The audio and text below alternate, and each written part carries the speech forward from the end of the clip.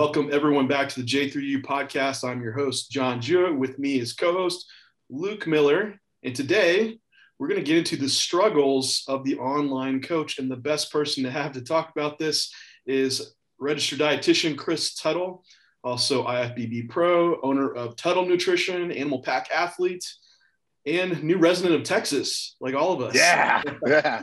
How's it going, man?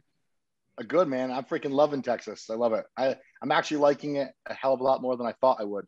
Um, the Fort Worth area is just awesome. And the only problem is there's not we don't have a lot of time to like do things yet, you know. So we've been like trying to schedule in as much as we can to see as much as we can, but there's so much to do, you know. What what what's the big draw for you? Like, what's the big standout? Uh, you talking about for me coming to Texas or Fort Worth?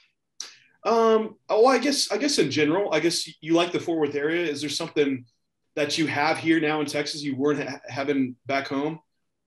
Well, besides the insane savings in taxes, um, and and the and the better weather, uh, people are friendlier.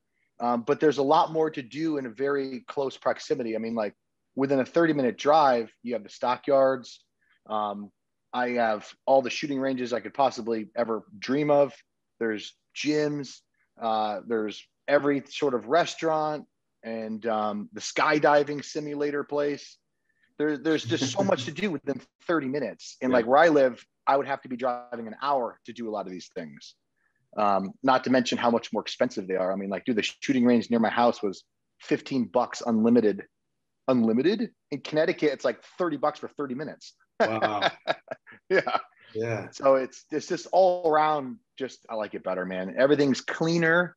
Uh, there's not garbage everywhere. Not that Connecticut is full of garbage, but you get bad areas. I'm sure you do everywhere else. But here's just I just like it all around better. Um, I don't mind the heat at all. I know this year in Texas, people keep saying that it's not as hot as it has been, um, but I hasn't. I, I haven't once been like I have to go inside. I have to go inside. Where in Connecticut, when it's cold, you're like, I gotta get inside. I gotta get inside. I gotta get inside you know? Yeah, fam, screw the cold. Like I, I, can deal with the heat. Even even now I'm prep. Like I'll still do my steps outside. Like I'll go in the middle of the day and I'll, I'll walk outside. Like it's not. Yeah. I can deal with yeah. the heat. It's it's the cold that I I don't want to deal with. We had that ice storm with this past winter. It was like like in Texas, you're like, man, I hope it snows this year. This is going to be great. And then it's like shuts down the city. We're like, you know, fuck the snow. Like never, never want to live with the snow. It, it was just miserable. So I'd rather have 100 degree weather any any time. Um, God, it's like that for like four months. but I, I agree. I think Dallas, like I, we want to move to Dallas. Um, I think it's just it's such a clean city. And like you said, I'm sure there's like areas you don't want to go to, but overall, it, it is really nice. There's so much so much to do out there. So it's a big draw. For yeah, sure. and like the thing is, just we we we uh went around Fort Worth, like the center of the city there like where all like restaurants are. It's just it's just beautiful. It's clean. Yeah. Uh, the, the and the food was the food is so much better and way cheaper to eat, which is nice. It's easier to navigate. There wasn't like an ass load of traffic like you get in New York City uh, or in Boston. So it's just all around better. And I know there's like a there's air show coming up soon and the state fair. So I mean, these are all things that are just yeah. like super close, you know? We better stop like giving out all the Texas secrets. So it, it's just for us. no Don't come here. Don't come here. The shit title. I like my little. I know. I know. That's what everybody keeps saying. You know, people are like, "Where are you from?" And I'm like, "Connecticut." They're like, "Oh, okay." it's like glad you escaped. All right, now. yeah, yeah, yeah.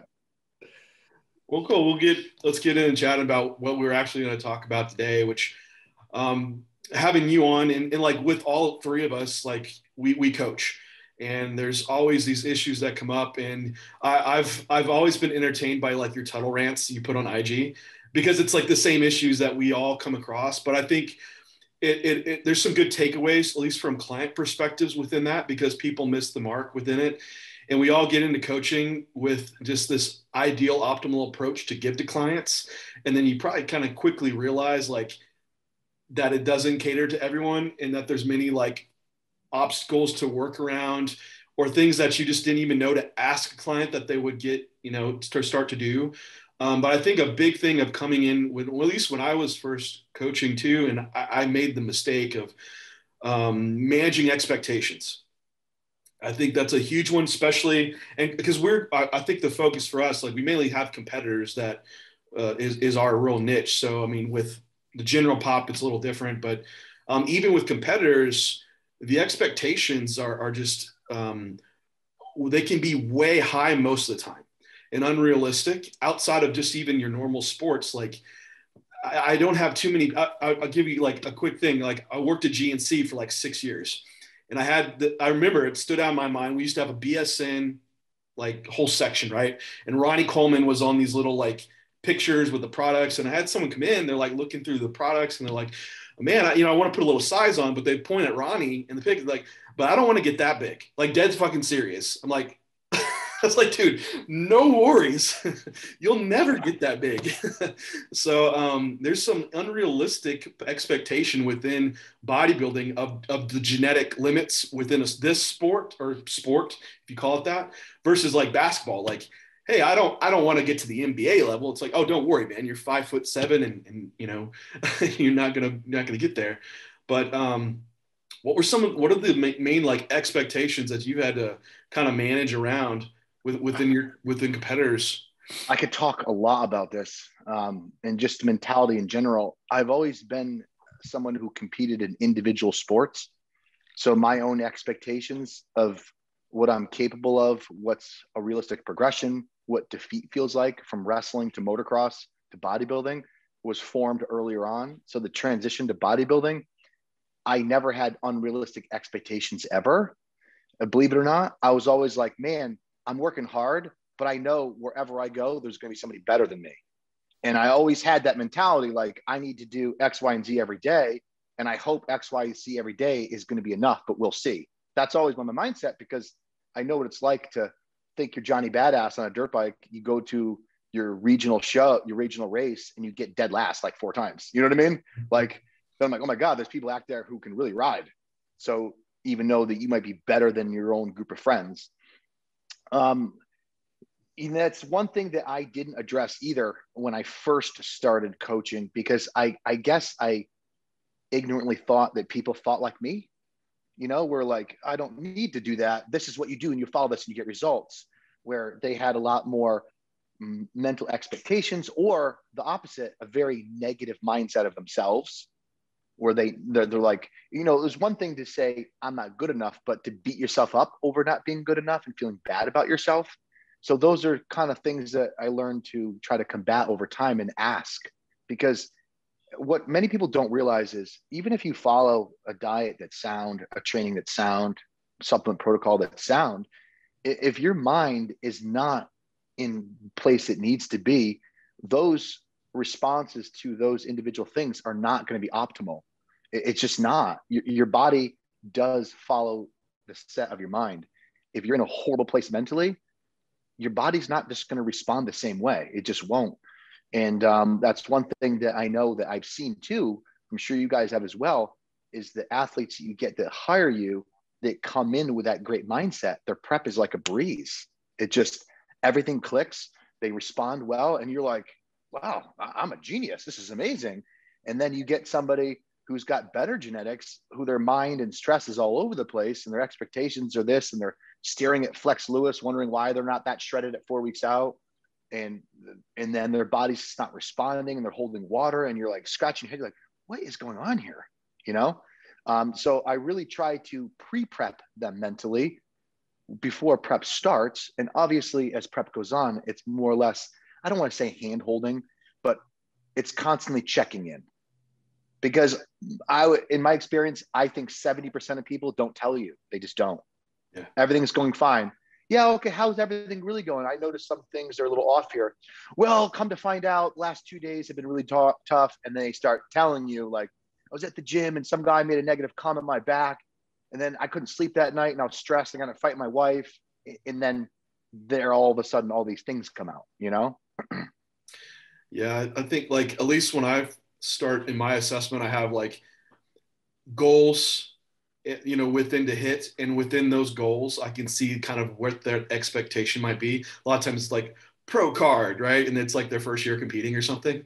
Uh, it's like okay, and then you can kind of build off that framework too and also like rating their their like current stress level what their occupation is how many hours they work a week to try to pull out some of that data set but i i i think i definitely hear a lot of people don't address it too. And i especially get that with like male competitors the especially like you're like more macho, like, hey, just give me the plan, I'll suffer, bro, and it doesn't matter. It's like, no, no, that's actually not the best kind of client that I have. And it's there's a perception that that client is is ideal, right? The one that just I do the plan and I don't complain. It's like, well, some of those complaints from that type of person are actually the stuff that you do need to hear because there's also like going too far. And it's important feedback. It's important feedback yeah you just you, you won't you won't hear that from that person. But i think even in modern modern day there's so much struggle with with what's put on us from a job aspect competitive aspect relationship aspect and the stress levels the, the amount of um, people with that struggle with anxiety and depression. It's it's almost a norm for so many people that you don't hear about where you get that opposite client like you said that they have such a negative self image of themselves and maybe they undershoot it, but they can go rabbit hole with a little thing like, hey, they woke up and their scale weight was 0.2 pounds up and they're like, it sends them down to like all of a sudden they're not good enough um, and to even darker places. And it's stuff that they, they might be embarrassed to address within a coach. So I think having at least within your check-in, and I know Luke, you have this right at the bottom. What, what is your, what do you what do you actually word it? Mental um like mental mental uh not mental sanity it's like mental expectations for the week. So it maps out how they managed it the last week and then how they things that they're going to use within the following week to manage it better. So like common ones i'll use will be like self-awareness tools kind of like a tally system in order to like start to gain that perspective of doing the dailies and how that contributes to like the longer one. And so that's kind of where that whole bottom end section sheet's at. Yeah. Um, you, you know what, what I tell a lot of my clients sometimes too is I, I you know people will idolize champions right and they'll with any sport but the first thing that people usually look at is what is his training program what supplements does he use nobody's being like man what kind of mindset does that take I wonder what type of mental meditation or self, you know, maintenance he does mentally for himself to keep him on his game. How can Serena Williams be one point away from a million dollars or five million dollars and half the crowd hates her and the other half the crowd loves her and all this pressure's built? How does somebody like that maintain focus and not make mistake and still be able to perform? Nobody asks those questions. People want to know, I got Serena Williams sneakers and I got her tennis racket. But let's focus on the most important thing that what's really separates people from who continuously succeed who don't is not necessarily the bag of tricks they have in their pocket. It's their outlook and their approach to how they handle those tools. You know, um, I have to say personally, Evan Centopani was always like, you know, I was friends with him early on back in 07 and I just knew he he was abnormally of a headstrong person. And at the time, I was a little more thin skinned and I idolized that. I'm like, man, I gotta, I want to be like that. Like it just seems like he he can't be influenced in the wrong way. He sticks to his guns. He's not one that made emotional decisions in his decision with competing and prep. He was just on an even keel like all the time. And obviously, to some degree, that can be genetic. But I look at a lot of the times what you're able to accomplish mentally, sky's the limit. It's what you believe you can achieve versus people saying, oh, that's just the way I am. I get stressed like that. I'm like, really? Because we're all human. We all have distinct physical attributes where we can't change, but you can mentally learn not to react to things. You can mentally learn over time to manage stress. You can learn mentally over time to become tougher. You can learn mentally over time to change your outlook, which I think a lot more people need to put emphasis on versus what's the greatest new ways to do RDLs. You know what I mean? I think I think sometimes too building the progression across that. Like I just pulled up my sheet to be a little bit more specific. It's mental and emotional stress is the category that's probably most applicable to that in my sheet, and it's a color coded portion of the sheet. So it's like a one through five, and they can see where they're at with like green, yellow, red, depending on where that mental emotional stress is.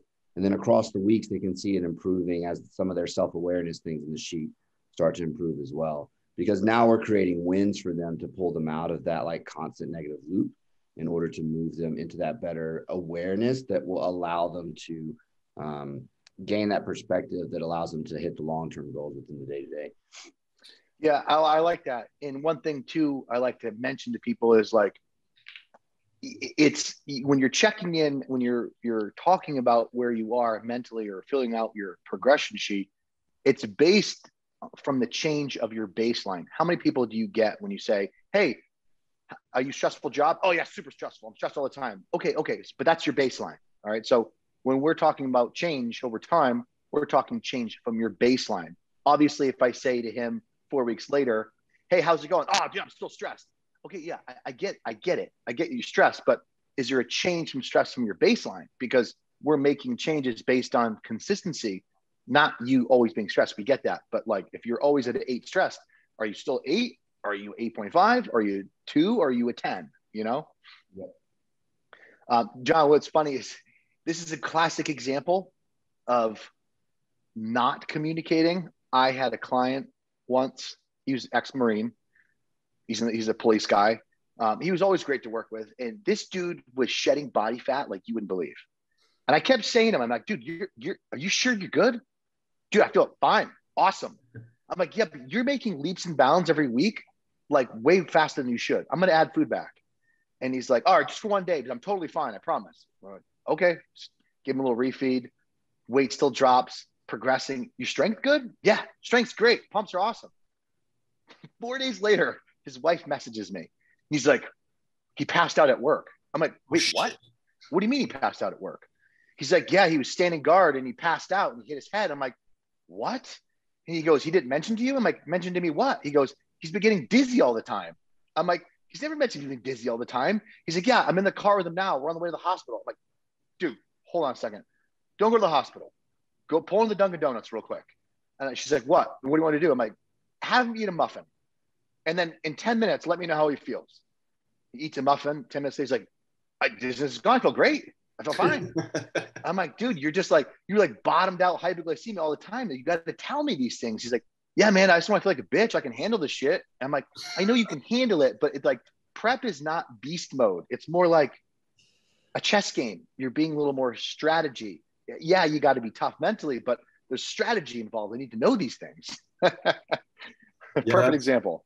No, it's it. Like I'm that. I'm I'm like that. Like I'm willing to go and push myself before I pull back. Like my first three shows, I coached myself, and which was a nightmare uh, mentally and emotionally because I was very emotionally driven then. Um, I didn't know how to separate myself mentally from from that and react. Um, those emotions can kind of still be there, but now I've I've kind of been able to harness that reaction to it.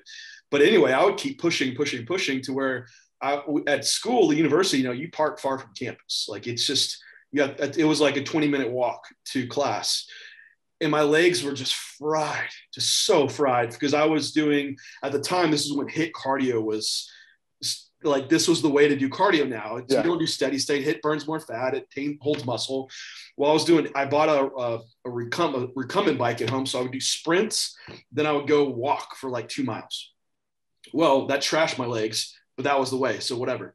Um, but I was walking to class and man, I was barely moving. I had to be slugging along and I just stopped in the middle and I, I was like, I think I'm going to sit down. it was sit down or walk back to the car. I was like, I don't know if I can keep going. It, it was, it was that bad. And just thinking back, it's like, God, you idiot, what are you doing? Um, you should have just like backed off. And so now like you said it's a it's this chess game of like it's not always push push push chase suffering.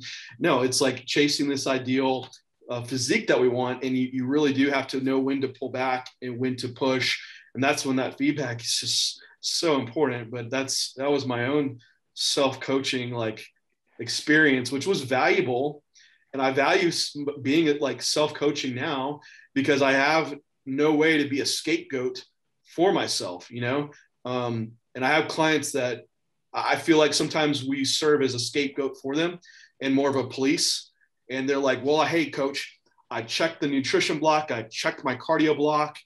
And um, then they can find any ways to make it like easier or get off plan. It's like, oh, you had you can have one diet soda per day or something. it's like, ha, well, I had a fucking three liter. It's like they're just trying to find ways to work around. Then if they get to their show, it's like, oh man, I was off. Well, this is because coach had me. It's like, and you serve serve that role. But coaching yourself, that's off the table. It's just you. And so you have to constantly evaluate how can I be better every day? And there's more self evaluation that occurs. So having a coach is no reason why you shouldn't still have that self evaluation and being able to that same internal monologue. You need to be conveying a lot of that to your coach because there's there's always an, a better way to do it. And that's what I found how I've perfected more of my process along the way is always, always this self reflecting on what I'm where I'm at mentally or physically, and how can I continue to improve and, and putting it on myself, having that self responsibility in that. Because um, even as client, you're still self responsible for for those actions. You, you just you just said something that's is I, I, I talk to Lex about this all the time, um, and this is outside of bodybuilding too, slightly off topic, but the same topic is I always just say to her, I don't know how people go through life becoming a worse version of themselves as in to become more eccentric in the poor personality traits they have. Because, in my opinion, bodybuilding or whatever you do in life, the whole goal is to become a better person, better version of yourself. That requires insight. So I think that is something that a lot of people either don't just don't have, or they don't care to have, or they refuse to have, because humility, insight, self-reflection, being able to look back and to see very closely what went wrong, what could have changed, and how to implement them and move forward and change is a skill that people just don't have or they're not willing to have or they're not willing to try to work towards. I would say all the clients i have very few have that right off the bat and i do believe that self-coaching does kind of forces you to have that because there's no scapegoat or person to blame except you have to look back at xyz and figure out what went wrong and what you can change because it's on you. And that goes to the question people always ask Should I coach myself at least one time? I think everybody should. However, as you may know, and I, I agree, and this is not a dig at any many people, but I would say 50% of people who compete today wouldn't be competing if there was no coaches.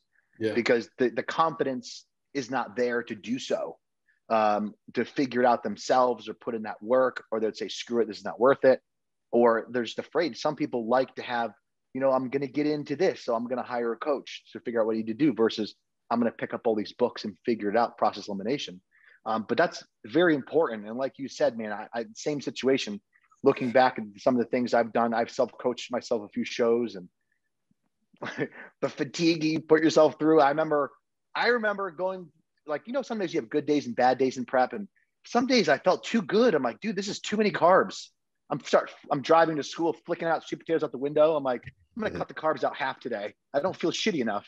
Like having that mentality, it's just like I don't think I'm suffering like I'm supposed to, even though the results are there. Um, but self insight and self reflection and taking responsibility, even if you're with a coach, kind of looking to see what could have been different, is overly important. I mean, I've worked with a top coach and the first prep worked really well. The second prep was a disaster, and it was in the same year. I'm not sitting there blaming him at all. It's just sometimes the body does things you don't want it to do. Because at the end of the day, I always tell people the body's like a wild animal, right? You can try to coerce it into your little den and trick it, or the wild animal's gonna be like, fuck you, I'm not doing that, you know?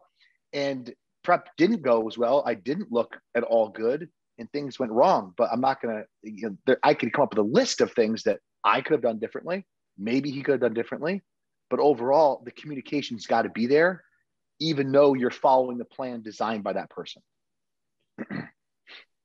yeah, even that's another part of it too. Like you can have the best coach and the best plan and everything, but sometimes just the body response. Like I, have been in prep for a very extended period of time, and to pull back down into the Olympia, it's taking more than yeah. what it has because I've been in this prep. And, and so it's not like, man, John, you're, you're, I'm missing the mark in my coaching or no, it's just, this is the body's response and how yeah. I have to now change the plan accordingly to do so. So sometimes it is just the body and you have to know, Hey, maybe it's time to just, we do something, a different plan or approach. But um, I, I, I think what you said is, is interesting as far as like at some point you should maybe coach yourself um, I, I would say my mistake was coaching myself off the bat um, and trying to. I try, of course I was learning all the way, but I, I think having a coach from the beginning that just gave me kind of helped me learn my body faster, um, or not my body, but just in general, kind of like the the route to go. But then I think instilling in our clients that autonomy and pulling out that self reflection to where they could get to a point where they can almost coach themselves. And do you have do you have any process that that would even look like for someone like to build in more more of that kind of like like to where they're a high end client and they're just like can do stuff on their own you know like like example for me would be someone moving from a strict meal plan to where hey we're maybe just give them macros and they need to program out their own food choices or something like that um, I don't know, do you, do you, do you kind of tr- try to progress your clients up to where they're, they're have more of that uh, autonomy and, and just own responsibility in their own plan? My general weight loss clients, I do all the time because at the end of the day, it's all about sustainability on their own over time, over a lifetime, where they can achieve their healthier look, healthier body, better improved blood lipids. Um, same similar concept in regards to some of my clients I have in the off season, where like they're like, "Hey, Chris, can I swap out this for that?" I'm like, "Yeah, man. At this point, 75 grams of carbs, 75 grams of carbs, like it's totally fine, not a big deal." And they can go in that direction. But in regards to people getting them to prep themselves, that's a decision they make. I don't push that. Um, I've had people, I've had friends, like my clients become my friends, and then they end up prepping themselves. And then they're like, hey, Chris, do you mind if I send my pictures to you like six weeks out, four weeks out? Just kind of give me your thoughts. I yeah, no problem just so they have like somebody in their corner being like, yeah, dude, you're on track. This looks okay. Yeah. Oh, I might want to step it up. I have quite a few clients have done that who become friends, and I've done it that way. And they kind well, of, I've, I've seen you my pics before. Yeah, yeah. You know? I've done preps like that because at the end of the day, sometimes it's important to be like, man, like I feel like I look good, but maybe I'm seeing myself not as I am because we rarely see ourselves exactly how we are. And then be like, hey, what do you think of this? You know, it's always good to find that honest friend. I had an honest friend growing up when I used to prep myself and I'm like, dude, what do you think? He's like, dude, you need to step it up. he, he would never be like, you're fucking awesome. He'd be like, I think you're okay. I think you're on track. Or you need to step it up. You look really flat. Like he's just flat out. Where everybody else is like up your ass, being like, bro, fucking peeled. You're going to win. And he's just like, yeah, you're probably not going to win. you know? Um, but my first show, I hired somebody to help me and then I got the experience, and that experience created okay. I I think I got an idea of what to do, and then my second, third, fourth, fifth show, I prepped myself, and then that was obviously all learning and improved. And then the last show I prepped myself in that order was a disaster, and then I'm like, man, I have no idea what I did wrong. Like I need to hire somebody now to help me make better decisions so I don't make 20 years of mistakes. You know what I mean? Yeah. Um, and then I hired somebody else who was better, more experienced, and I learned even more. And then I prepped myself again after him and I did well. So it was kind of like, you know, you sometimes you don't want to go two, three years making mistakes when somebody could be like, you're making a mistake. This is an easy fix. Do you know what I mean? Versus going through it thinking like, yeah, got it. But then again, I'm 38. When I first started competing, there was no coaches really. There yeah. was no Instagram.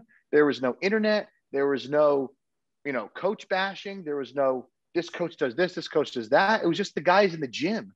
And at that point, I look at the owner who used to compete like 40 years ago, and I'm like, hey man, does this side chest look okay? You know, and that's how I had to learn and progress because you know that my corner of people competing was this big and only people I knew. I didn't know anybody I was competing against. There was no like, so and so's doing that show. Did you see him? I had no idea. You know, you just show up and that's who's there.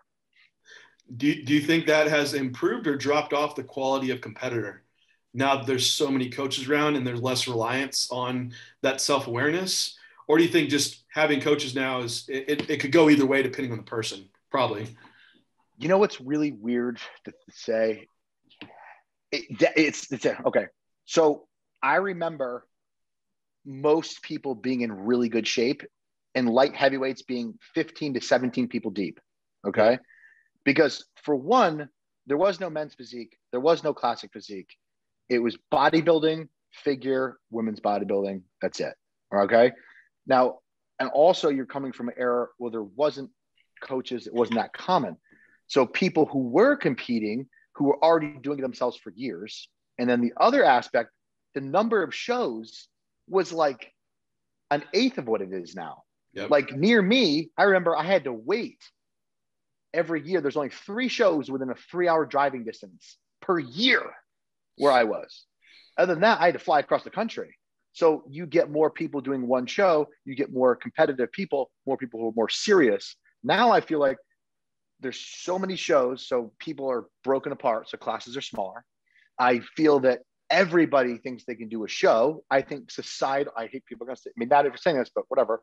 Societal norms in general is more lazy, lackadaisy, don't have that same grit in them.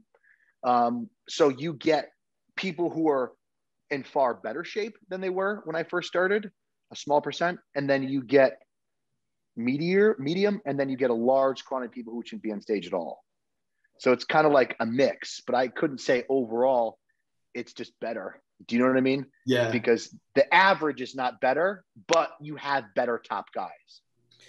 I think we've we've expanded the divisions out now to where it to allow more people to to see it's achievable and, and not to take away from like men's physique or classic or anything like that because there's guys that are exceptional work very hard but there's also just a lower level of development that's needed or sometimes a lower level of conditioning toward it seems more achievable um, which you pull guys from bodybuilding oh i'm not going to bodybuild because that could be a six year endeavor to get really good versus this two year endeavor where i could maybe get become pro then or you know whatever it may be.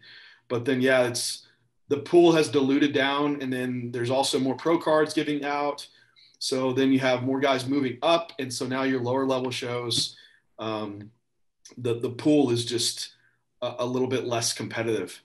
Um, so a lot, yeah, a lot, a lot of factors within that, but at least with within coaching, I, I think it kind of goes either way. Like everyone's a coach, that's a problem, but then you have access to a lot of information on what's kind of bullshit and what's not. Um, so uh, yeah, I agree. It's kind of it's kind of mixed. Uh, I, multifaceted thing. Yeah, and one thing you said about I think the one thing that the coaches have brought this is just too many coaches who shouldn't be coaching. I believe you have a lot more people ending in the hospital, getting hurt, dying if it, if it like if that wasn't there because those types of people may not necessarily taking 200 milligrams of orals a day.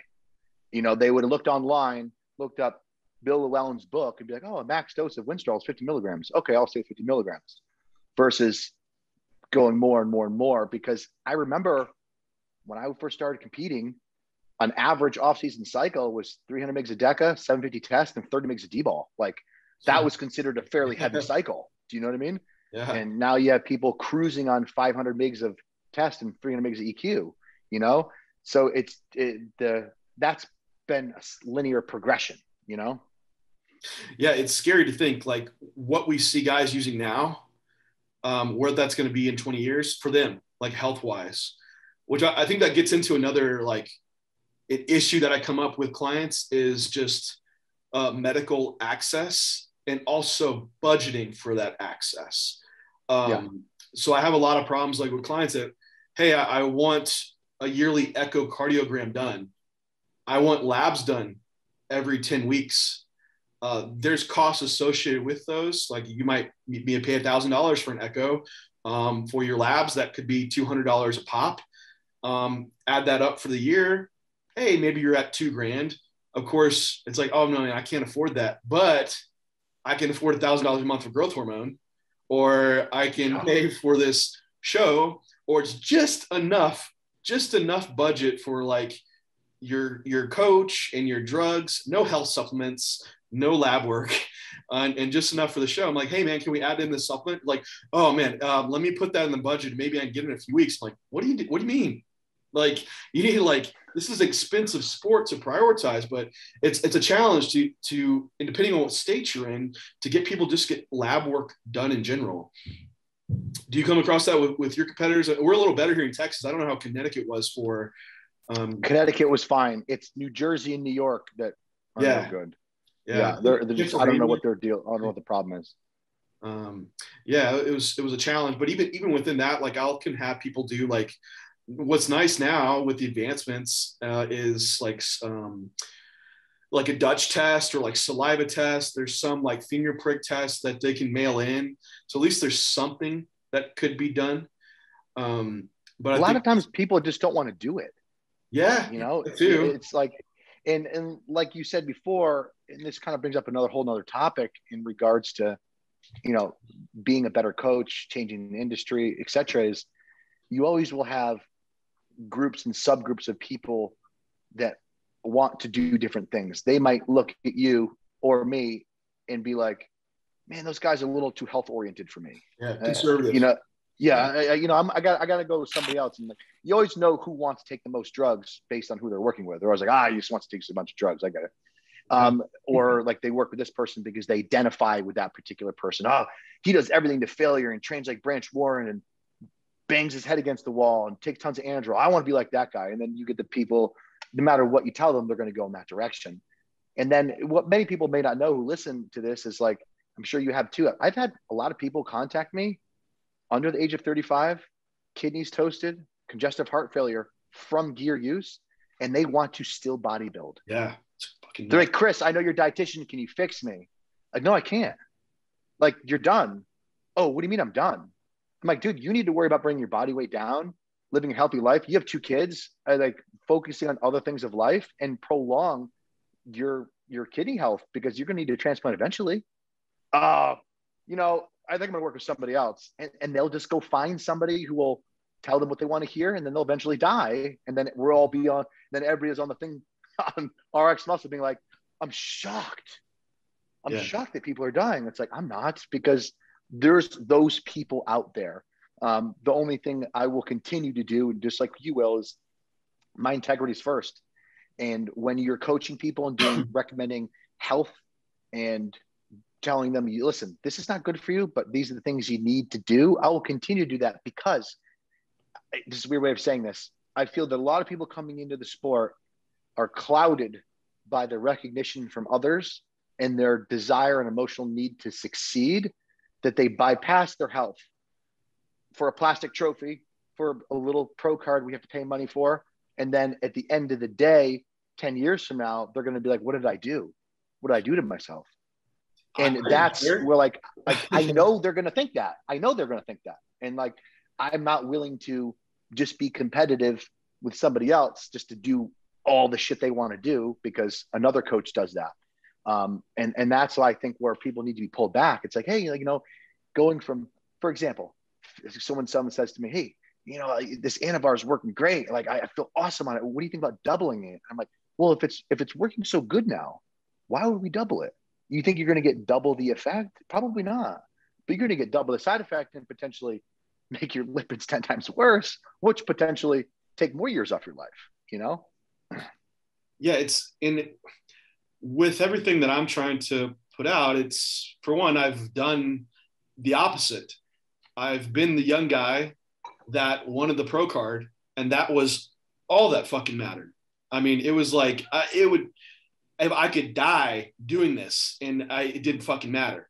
It was stupid, and I was I ran grams into shows and didn't do blood work because I didn't want to see the lab work. Um, thinking that the approach I was using was still like that's what must be done, and that's not what I'm putting out either. It's that, hey, we want to be awareness. And so when we do get 10 years down the road, it's not like, oh man, I have heart failure. I don't know how this happened. It's like, no, we pick up the warning signs and we can do something about it.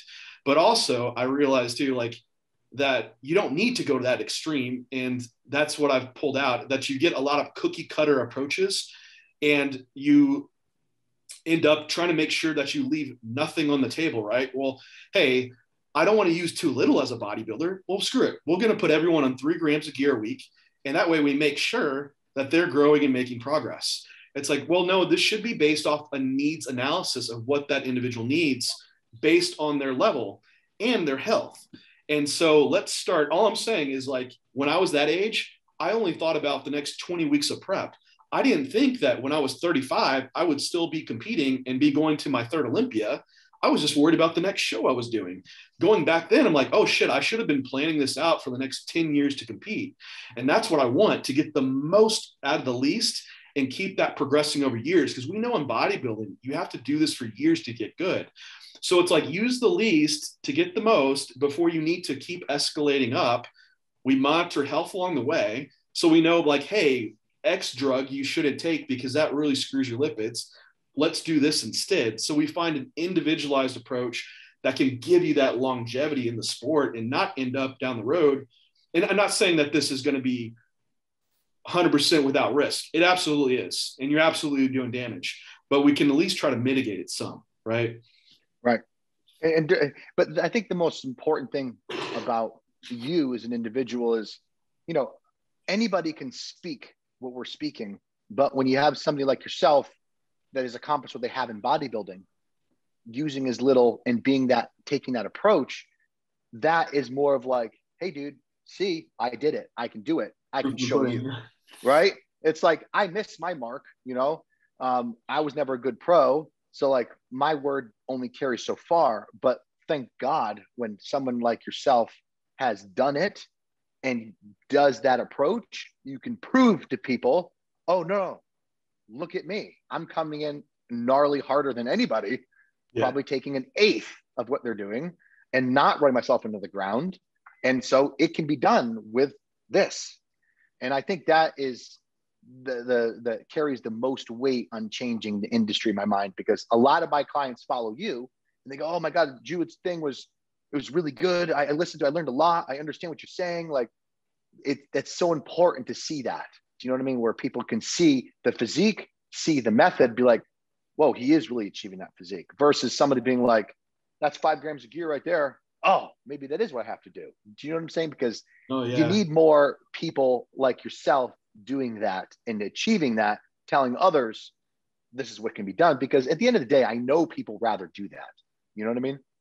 Yeah, it's it's a tough one. Like I, I am glad like to be at this level and and be able to i feel like it helps me bridge the gap from like the science nerds that have like the information but they just don't have the client base or the pro or they're not the pro to like cross over to be like hey i'm in that tribe too guys i'm the top your top pros um, this is what i'm doing check it out and they're so much more open and receptive to hear it from me versus some like natural pro that just read a bunch of studies, right?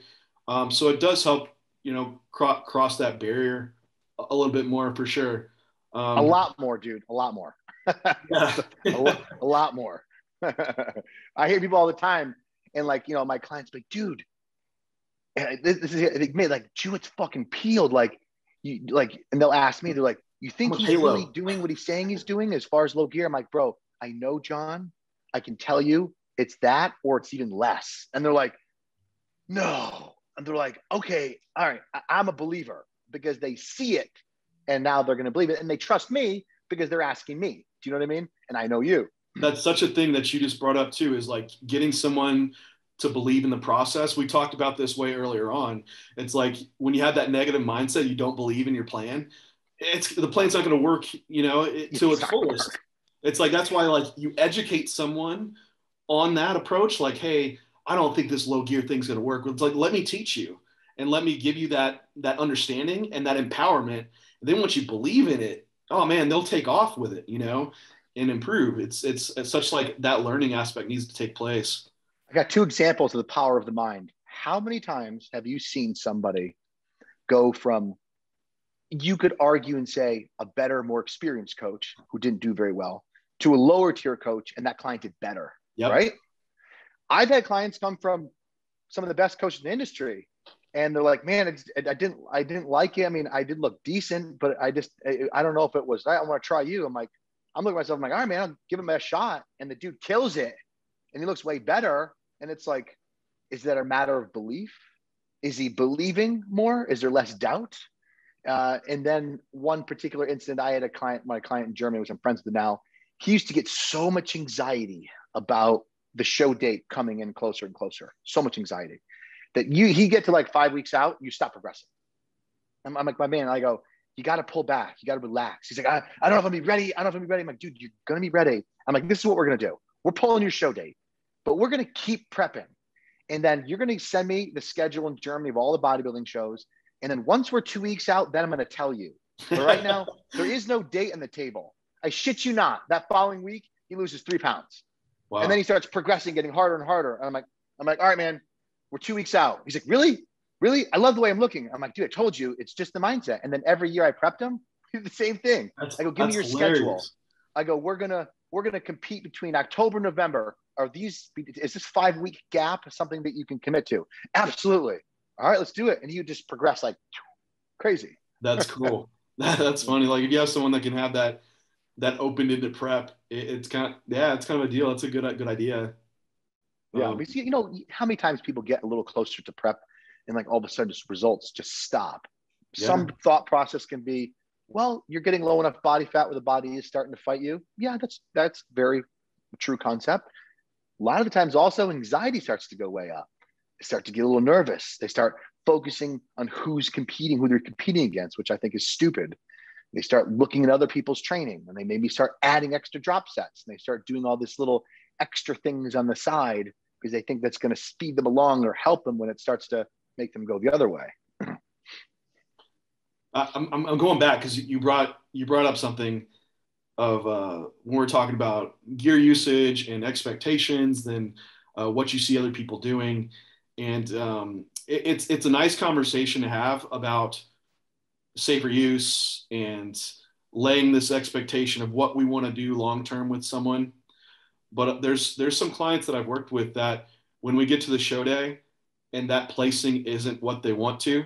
For one, their uh, their their needs and what they want for a placing or for status, that's where they're at still. They're not looking at this like further self development of themselves. But anyway, a lot of times for these clients, like the at the end of the day, that placing is what matters, and they don't care that they took a safer route. That's a more of a, a longer term look at, at competing, and I see this a lot with females too, um, especially more so WPD and so they came from a coach that had a very aggressive PED regimen.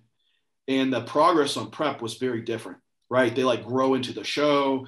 Um, you know, they made the most gains possible, but then they're all fucked up afterwards. They're like, hey, I, I don't want to get masculine. I, I want to use less. And it's like, okay, well, this is going to be a different kind of, you know, prep. And then they don't see the, the placing that's there. They're like, fuck this, I'm going back to some other coach, you know? Uh, and so, really, at the end of the day, some of these females, they really don't care about losing femininity. It's just about getting there to where they want to in, in, in result. But I will say, like, I have to probably, I, I, I, I attract what I put out information wise, right? So if I put out this, this model of how I do things, this thought process. Usually I get those kind of clients, but every now and then when I get I get one that's like, yeah, that sounds great, let's do it. But deep down, it, it's really, hey, I want to push gear hard, and I don't care about the effects. Truly, I don't. Um, they I, will eventually. they will maybe eventually. Um, I don't know. It's like, and this is man, it's crazy. Like I've seen. Um, I worked with a wellness competitor that came from a wellness guru, and the drug regimen was more than I have any WPD client on. And her prep was like, hey, I grew into the show. Um, she was on this stuff for like 20 weeks, rotating out different compounds. It made no sense. It was fucking ridiculous. One week was Winstrol, the next week was Equipoise, and it was fucking crazy. And I'm like, and she, and she, um, you know, there was health issues. So we were addressing those, addressing what needed to take place. And then when I'm like, hey, you can't prep this year, because of the things that we were trying to do, peace. I'm going to a different coach, you know? Um, so deep down, and, and, it's also like, why can't I grow into my show this year? Oh, because we don't want you to be a man after a year. Oh, well, okay, that doesn't really matter to me because that's still what I want to compete. so it's like all across, it's all across divisions, but again, like for females, look at the look at your master's level clients, your females that have been doing this for 10 years, even if they're just taking a little bit, like you do this for long enough, it, it will catch up. Look at some even bikini pros that have been doing this for a while. Like masculization is there when you look back at where they first started at. Look at Jenny Lynn, figure O, way back in the day. Monica Brant, like talk about progression of everything. Yeah. It, it's mind boggling. But what you just said, it's like you attract people, you attract people based on what you put out there. And I, same, similar with me. I, I really don't get a lot of people that come to me with who want to do tons of stuff. When Matt Porter passed, I had like 50 clients of his try to come to me and all the things they wanted to take or what they were taking. I'm like, dude, I, I don't have any part in this. Like, I don't want any part in this. Yeah, yeah. You know, that's just not how I work. That's not how I, how to work. Um, I just feel uncomfortable with it. I'm not, I'm not doing it. Um, but it, it's it's a it's an unfortunate route. But like you just said, it's like I'm not. You are not going to change your methods. I'm not going to change mine just based on what people want to do in that regard. Um, I, I, just think that people sometimes do need to think a little bit outside the box in the future and longevity. Anybody who's been in the sport, Dexter Jackson, and anybody who's been competing for an astronomical long time, being successful, didn't do dumb shit. Because at, at some point, your body is like, if you're born a Honda Civic and you want to make it a Porsche 911, you're going to have to do a hell of a lot of mods into that car. And that car is not going to go 100,000 miles. It's just not. so it's like kind of kind of play your cards right with what you have. Um, and, and that's the name of the game. Uh, back you said about placings, though, uh, it's difficult sometimes when you get a client do a show, it's not competitive they get second or they win. Then they do a show, a regional show. So it's like you could say it's a lateral transfer, and it's a lot more competitive. The lineup is stacked, and they get fourth, and they're like, "I didn't progress." I'm like, yeah. "Bro, look at the lineup. Like your line, you're you're eight pounds heavier with better condition, and your lineup would have destroyed last year's competition and the whole thing. Like you, you got to understand that, it, like your placing is not it's not a award for your hard work or your lack of progression. It's just who showed up that day. And that's, I think that's a difficult people, difficult thing for people to grasp. And they constantly be reminded of that. oh, absolutely. And even some of these divisions have progressed so quickly. Like you look at any of them, figure, WPD, even like five years ago, th- there's a different level of physique. And, and so you wait out a year to grow and you get this new run of, of females coming up or new genetic individuals that it's just your lineup isn't comparable. Like when, in 2019, I did the Olympia. I got fourth. It's like, holy shit, like this is high up there. Look at that lineup. Like it, there was a lot of guys that were kind of on their way, on their way out, like these, you know, older competitors. Um, it just, it, it, it was quality, but this year, if you look at the level, like I haven't even I haven't been able to win a show because these new guys coming up are fucking awesome, you know. Yeah, and, yeah. Uh, this Olympia is going to be way more competitive than the one that I did. So it's like, oh, John, you got fourth. If I don't get third, well, fuck. It's like, oh man, there, there's a whole nother Olympia, whole nother lineup. Um, so to say like, oh, well, you got worse. Well, that's not necessarily the case. I just bring the best version of myself, and that's what I really need to compare back to, and keep trying to do that. Um, it, it's it's you know that I know that Luke, you know that it, it's difficult when the general public goes, "Oh, what happened?" Yeah, it's like, "Oh my god, you just yeah. you still understand." yeah, you still yeah. understand, dude. It's like it, you can kind of almost uh, simulate it to fighting. It's like you could go against a fighter who's not as good as you, but he just catches you wrong, and and you eat it, and you get knocked out by somebody you shouldn't have. It's just like sometimes things just occur. You might be overall better bodybuilder than a lot of people and things might not work, or it just the progression of competitiveness is just linear. And it seems to be more that way. More genetics are coming out of the group, more crazy shape with muscle bellies and muscularity. And I, it's funny, I get this question a lot. I noticed the guys are just getting a little gnarlier. Are they using more and more and more drugs? I'm like, listen, the concept of using more drugs is very simple. It just means I'm going to double my dose. If that was the case, every gym juice head weekend warrior would be out of control huge. Yeah. right? It's like it's not that easy. It, it, it's it's not uh, related to just that. It's just not, and it, it's it's a difficult thing to try to teach people when it keeps getting regurgitated back and misunderstood. it's kind of a, a separate thing, but I, I think with COVID restrictions coming off some, you're going to have a lot of guys and girls coming back into the competitive realms. Um, I also think there's a lot of people that there's freaks out there that don't even don't even know they're freaks that haven't trained. And I think, and like you see a lot of these guys coming out of Egypt and that those areas where now there's like, you know, Ramy having this huge influence. And there's some like genetic freaks over there that are now yeah. coming into competitive world. So I, I think it's just, uh, it, it's becoming more aware in other parts of the, of the world. Then also I think with the travel being you know kind of brought back and some you're, you're going to see like this other surge of competitiveness come through i think um you know it, it comes and goes but at least like 2020 was probably like our, our most challenging year for for competitive wise to where you have people that go to pro shows that turn pro that probably you know you probably wouldn't have in, in, in years before potentially um, um, something you just said made me remind me this is and this is corny to say this, but and we do say this, your placing is not a recognition of your progress or effort, which people keep attaching to. I have to win, Chris. Why, why do you have to win? I just want to win. Or, yeah, well, everybody else does too. But you know, your overall goal and focus at the end of the day in bodybuilding is to be better every single time you step on stage. If you're getting better every single time you step on stage, then you are winning whether your place keeps improving or not. Yeah. Obviously, if it's the same group of guys, same judges, which is impossible, that never happens, then and you keep placing the same, that sucks. But I mean, that means everybody else keeps getting better too. But that should be the primary focus. If you get off stage and you place worse with a better set of guys, but you're 10 pounds heavier, that should still make you happy. It's not just about I won. I mean, I have some young guys who tell me, Oh, I want to do this show. Well, why do you want to do that show? well, I know I can win it.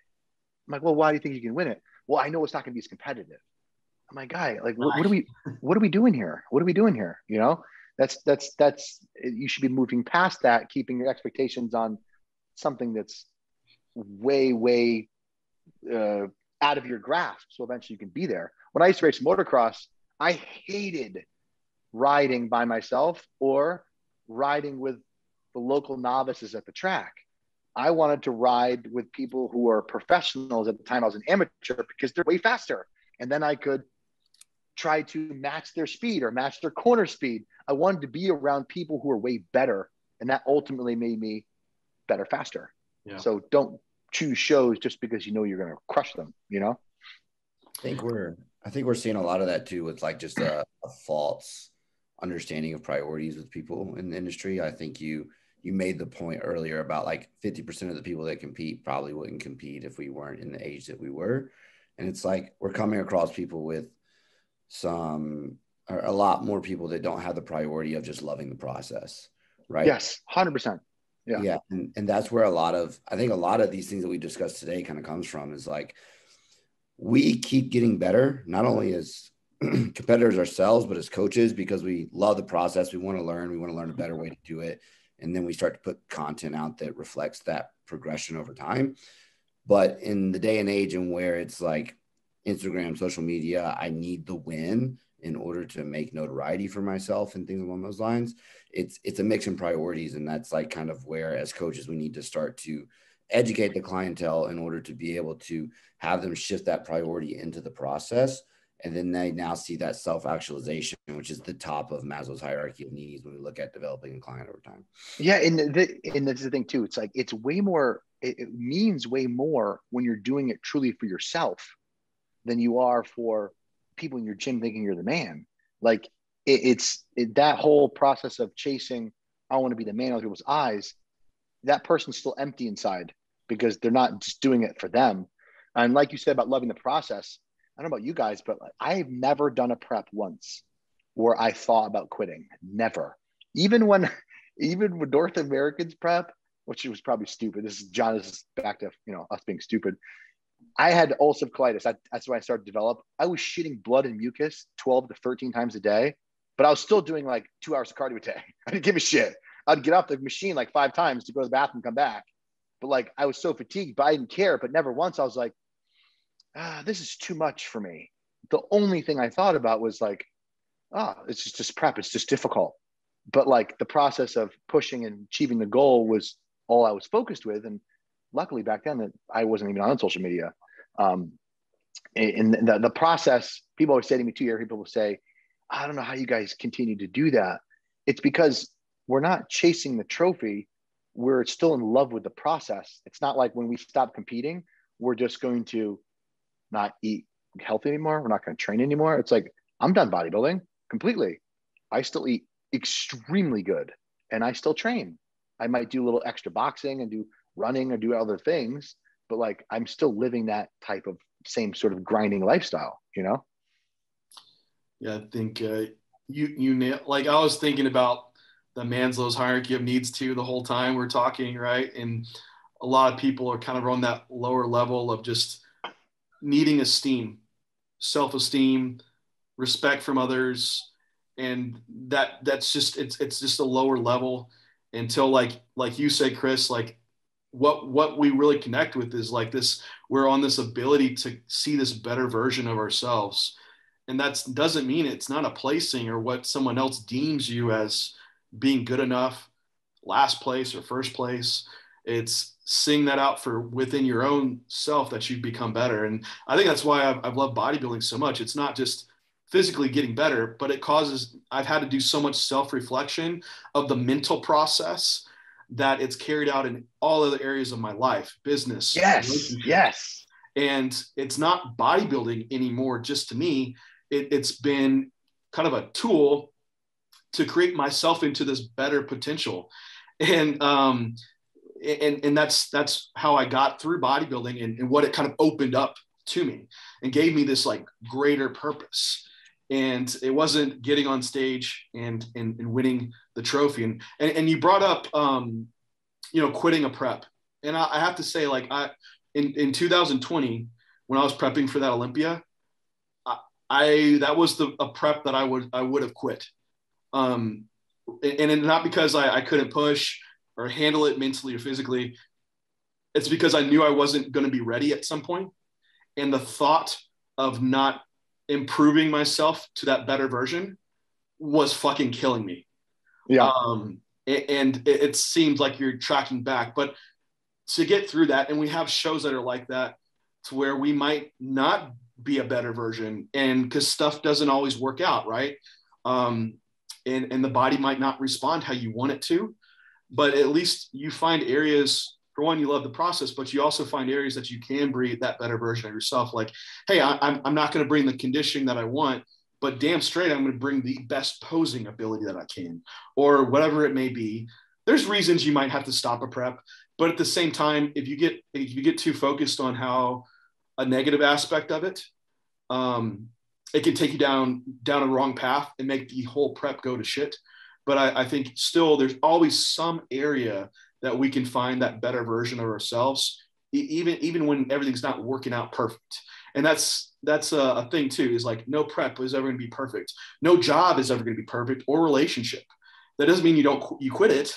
Uh, it, it's you find the ways to where you can still improve and then you have more self-reflection on what can i do now to make make it even better. So going through that prep going through other adversities that i've gone through like that's how I got better because I had to think out and, and problem solve.